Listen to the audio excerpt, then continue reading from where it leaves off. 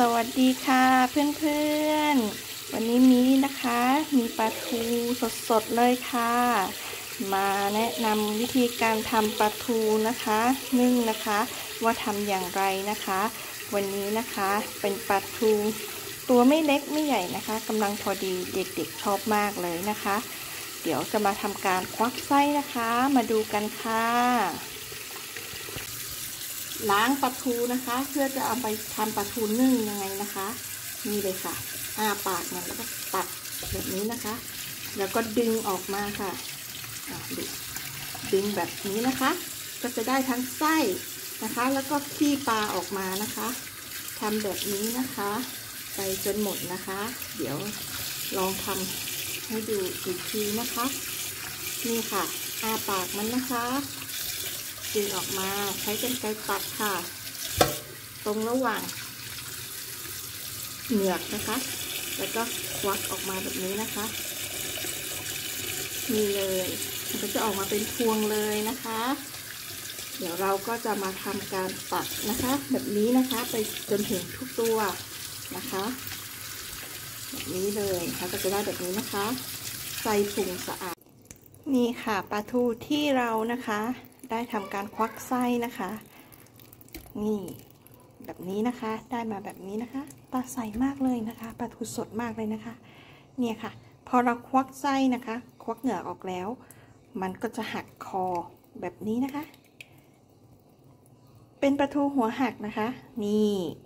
ได้แบบนี้เลยนะคะแล้วเดี๋ยวเรามาดูวิธีการทำต่อไปเลยค่ะกว่าจะมาเป็นปลาทูนะคะ นี่เลยค่ะ เรามาล้างให้สะอาดนะคะเดี๋ยวเราเอามาพักไว้นะคะ นี่เลยค่ะปลาที่เราล้างนะคะ สะอาดแล้วนะคะ เราเอาเกลือนะคะโรยลงไปเลยค่ะเพื่อนๆโรยลงไปเลยนะคะค่ะ แบบนี้หนึ่งด้านนะคะ เดี๋ยวเราก็มาใส่ในกระปุกนะคะ เอาด้านที่มีเกลือนะคะ นอนลงไปเลยค่ะ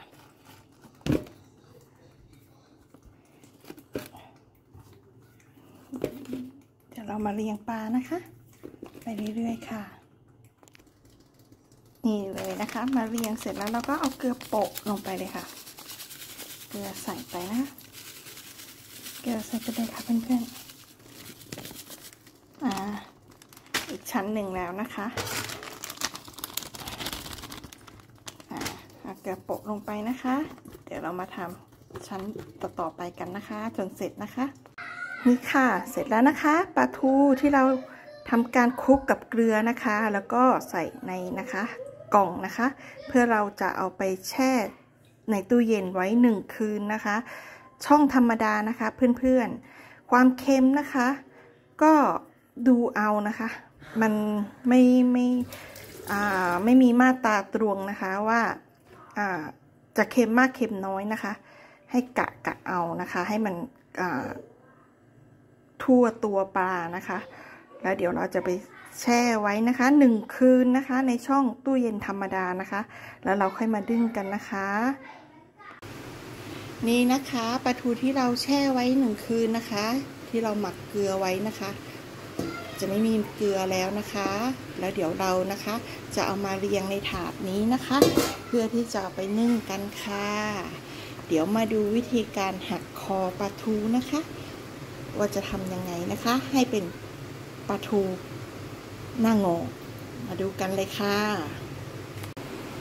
นี่นะคะเราจะมาพับนะคะ วิธีการพับหัวปลาทูให้ได้หน้างอนะคะ แบบนี้นะคะ แล้วก็พับเรียงไปนะคะ นี่เลยค่ะ นี่นะคะพับเรียงไปนะคะในถาดนะคะ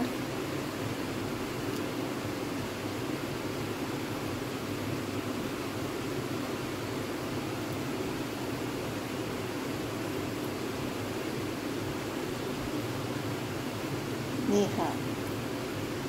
ง่ายๆเลยนะคะ เดี๋ยวเราก็จะมาเรียงใส่ในถาดนะคะ จนเต็มนะคะ แล้วเดี๋ยวมา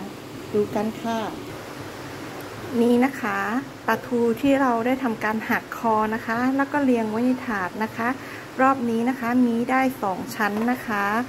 แบบนี้เลยนะคะปลาทูนะคะตาใสมากเลยนะคะ เดี๋ยวเราจะเอาไปทำการนึ่งกันนะคะ เดี๋ยวตอนนี้รอให้น้ำมันเดือดก่อนนะคะ แล้วเราจะเอาไปนึ่งค่ะ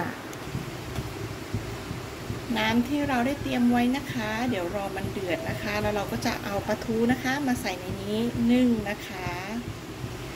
น้ำนะคะ ถ้าเพื่อนๆอยากรู้ว่ามีได้ใส่ลงไปไหมไม่ได้ใส่นะคะ เพราะว่าตัวปลาเราได้หมักเกลือนะคะ ทิ้งไว้แล้วหนึ่งคืนความเค็มมันจะเข้าไปในเนื้อปลานะคะ เรียบร้อยแล้ว โดยที่เราไม่ต้องมาต้มน้ำเกลืออีกนะคะ มันจะเค็มเกินไปค่ะ ตอนนี้น้ำได้เดือดแล้วนะคะ มีได้เอาปลาทูนะคะ ลงไปนะคะ ใส่ไปแล้วนะคะ พร้อมที่จะนึ่งนะคะ เดี๋ยวเรามาปิดฝากันเลยค่ะ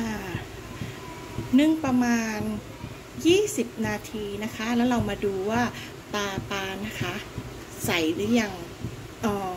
มันก็จะเป็นสีขาวขุ่นนะคะ เดี๋ยวเรามาดูกันค่ะ ปิดฝาเลยนะคะ นี่นะคะเพื่อนๆเรามาดูปลาที่เรานึ่งกันนะคะว่าได้ที่หรือยัง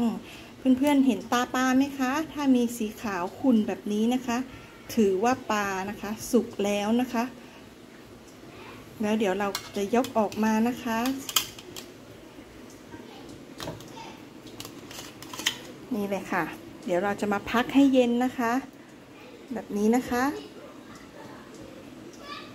สีสวยไหมคะ ง่ายๆนะคะ แบบนี้เดี๋ยวเราพักให้เย็นแล้วเราเอามาทอดกันนะคะเพื่อนๆ นี่ค่ะปลาทูที่เราพักไว้นะคะ จนเย็นแล้วนะคะ เดี๋ยวเรานะคะจะเอามาทอดนะคะ แล้วก็ชิมรสชาติกันเลยค่ะ เพื่อนๆนะคะ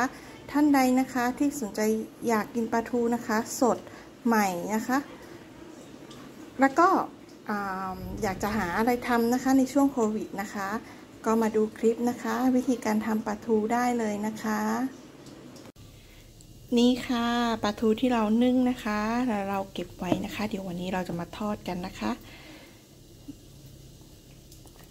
นี่นะคะ เป็นปลาทูคอหักนะคะ สวยงามนะคะ เดี๋ยวเอาไปคลุกแป้งกันค่ะรอทอดนะคะ นี้นะคะ ก่อนที่เราจะเอาปลาทูนะคะ ไปทอดนะคะ เราก็จะมาคลุกนะคะ กับแป้งทอดนะคะ ทั่วไปนะคะ ใครไม่มีก็ใช้แป้งมันได้นะคะคลุกไปเลยค่ะคลุกให้ทั่วตัวปลานะคะ เนื้อปลาจะได้ไม่ติดกระทะนะคะ ทอดออกมาสวยค่ะ นี่นะคะปลาทูที่เราคลุกแป้งไว้แล้วนะคะ เดี๋ยวเราจะเอาไปทอดกันค่ะ นี่นะคะ น้ำมันร้อนแล้วนะคะ เอาปลาทูนะคะ ลงไปเลยค่ะ